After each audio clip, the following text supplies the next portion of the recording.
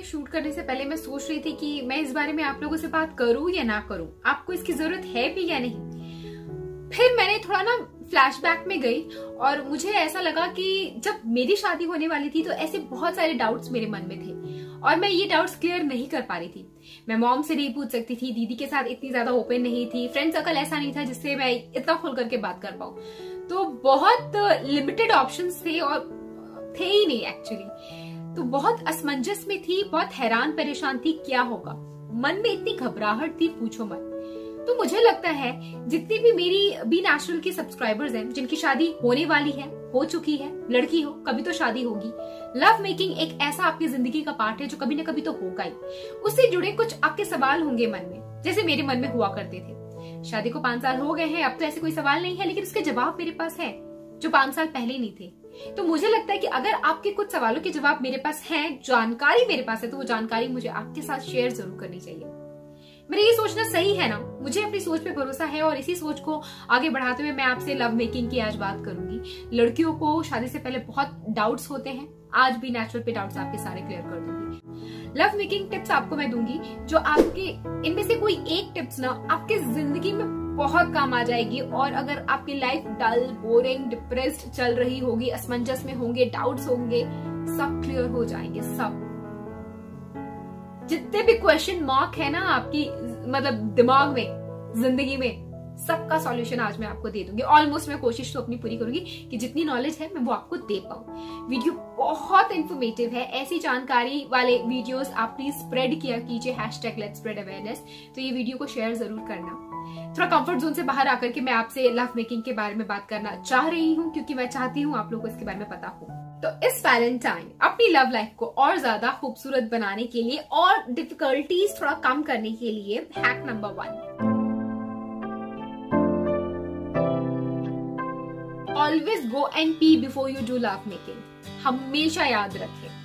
बहुत छोटी बात है, लेकिन अगर आप पी नहीं करते हैं और direct you jump on the bed then it can dangerous for you आपको you will not have pleasure you will not enjoy it और आपको बहुत सारी प्रॉब्लम्स हो सकती है। तो always pee before going for that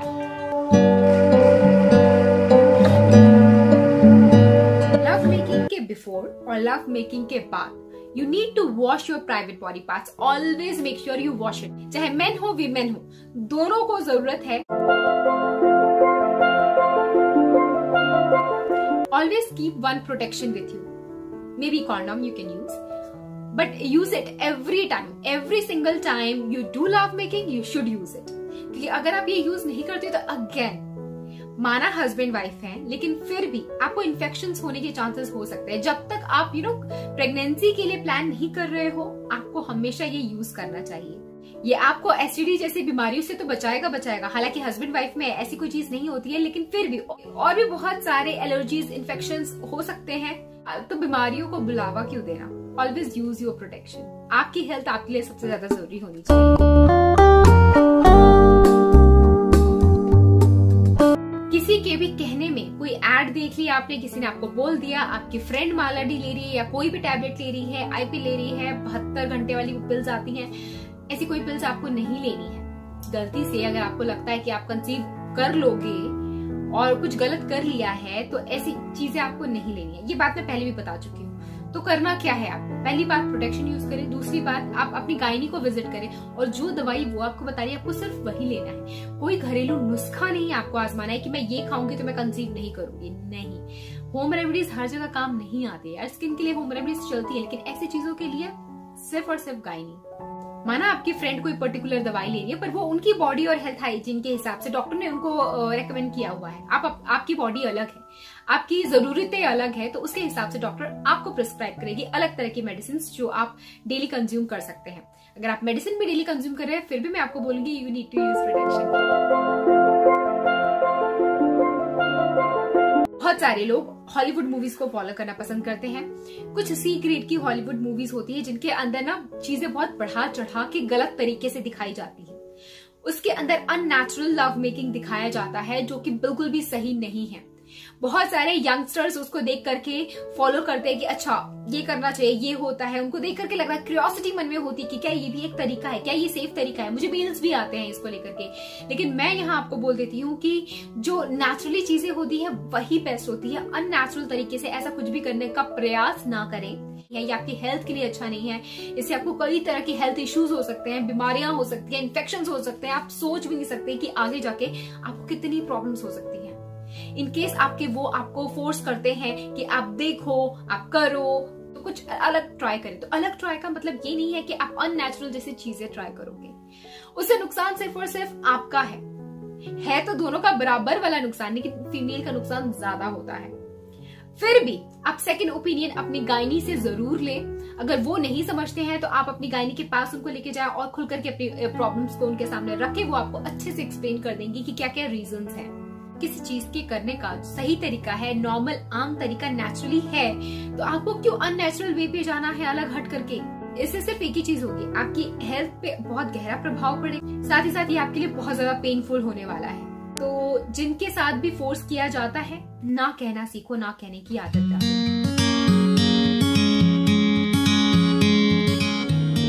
love making एक हस्बैंड वाइफ के बीच में एक बहुत खूबसूरत सी चीज़ होती है। ये खूबसूरत चीज़ जब आप कर रहे होते हो then just don't take any stress आपको स्ट्रेस नहीं लेना है। स्कूल जॉब बच्चे ऑफ़िस काम के बारे में नहीं सोचना है। क्योंकि अगर आप वो सोचोगे तो आप वो मोमेंट को एंजॉय नहीं कर पाओगे। फिर आपकी मैरिज लाइफ में बहुत सारी प्रॉब्लम्स आ जाती हैं।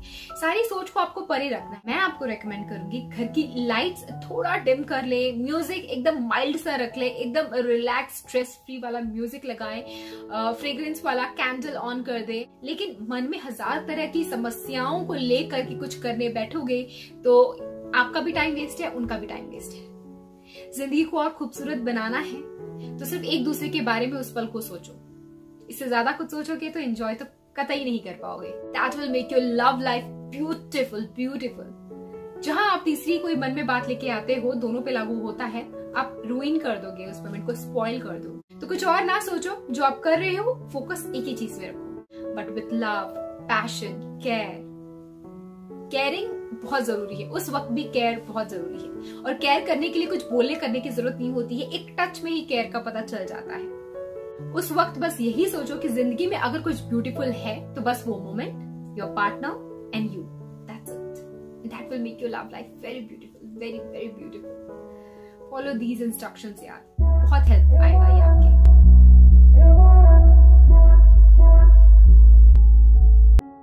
मानो ना मानो, अगली टिप ना, आप स्किन में ग्लो लाने के लिए स्किन के ऊपर जो मर्ज़ी लगा लो, जो मर्ज़ी खाना खा लो, एक चीज़ है after your marriage you should do love making proper time interval पे आपको करते रहना चाहिए। मतलब आइडियली देखा जाए तो हफ़्ते में एक से दो बार you need to do love making इससे क्या होता है? ब्लड फ्लो बढ़ता है।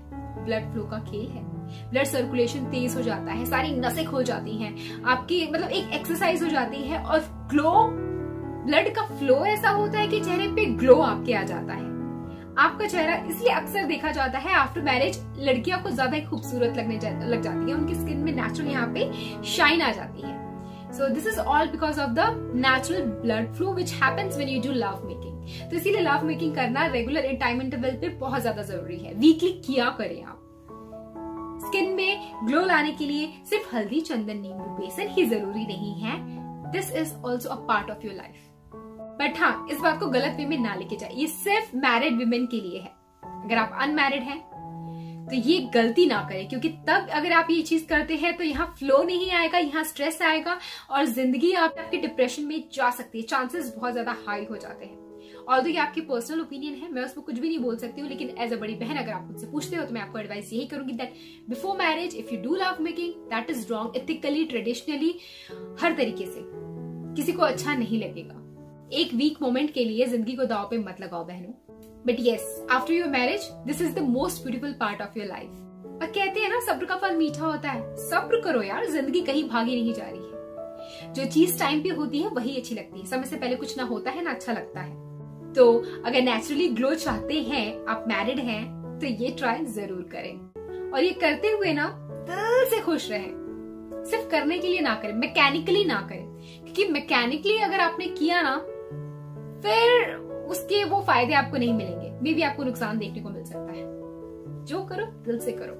ये तो कुछ छोटे मोटे टिप्स मैंने आपको दे दिए, जो कि ज़िंदगी के एक्सपीरियंस के साथ हम सीखते हैं। बहुत सारे विमेन को इसके बारे में ऑलरेडी पता होगा, लेकिन मे भी जिनकी शादी होने वाली है, उनको ना पता हो तो मैंने पहले से आपको प्रिपेयर कर दिया है। ऐसे होता है, ऐसे करना है। कुछ एक चीज़ें मिस हो गई होंगी तो आई एम रियली सॉरी अगर ये वीडियो आप लोगों को पसंद आती है शेयर करती हूँ तो मैं इसका पार्ट टू भी आप लोगों के लिए ज़रूर लेकर के आ जाऊँगी, पर उसके लिए आपको इस वीडियो को शेयर करना ही पड़ेगा। सच्ची बताऊँ if you really want to enjoy your love life if you really want to enjoy your love making दिल में प्यार होना बहुत ज़रूरी है। दिल में एक दूसरे के लिए प्यार रहेगा तो मेरी किसी भी नेचुरल की टिप्स की ज़रूरत नहीं है।